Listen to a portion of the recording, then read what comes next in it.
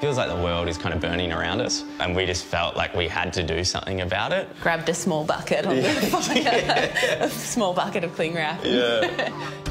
Jordy and Julia Kay are passionate about protecting the environment. And while they've always done their bit, they couldn't say the same for the industries they were working in. I was working in architecture and Jordy was making natural wine.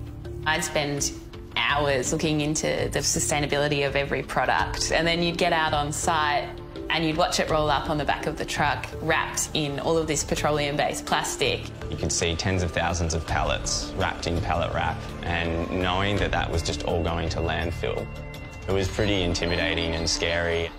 The average Aussie uses 130 kilos of plastic each year, and only 9% of that is recycled. That leaves more than 3 million tonnes in landfill and in our oceans and waterways. I felt like the world was going through this materials revolution. Energy, agriculture, construction, transport, a lot of the things we know are changing really rapidly. But plastic wasn't. So Jordy and Julia quit their jobs and started looking into environmentally friendly alternatives to plastic wrap. They found a novel solution using potato waste. Imagine French fries that are just perfect when they arrive on your plate. um, there's obviously a lot of skins and crap that you don't see. so we work with a company that takes that waste from potatoes and then converts that into a starch that goes through a sort of a polymerization process. And then we put that through our extruder and make our cling wrap. The potato-based product is much better for the environment than traditional plastic wrap. It's not made from fossil fuels.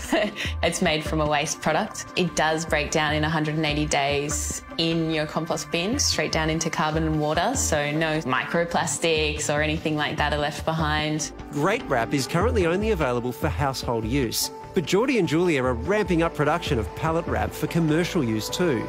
Potential here to remove millions of tonnes of plastic from the environment, which is extremely exciting.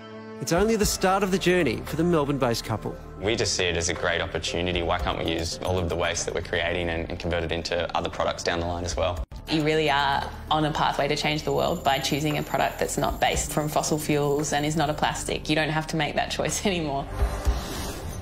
People are smart. Yeah, that's, that's oh, the, those people are smart. That's awesome. That, what a contribution. engineering. That's what that oh. is. It's just, it's brilliant. Oh, I thought it was smart. It's engineering. That's what it is. Well, engineering is yes. smart. That's a So, smarter way to say smart. If you want to get your hands on some Great Wrap, jump on our website for more details. Well, con-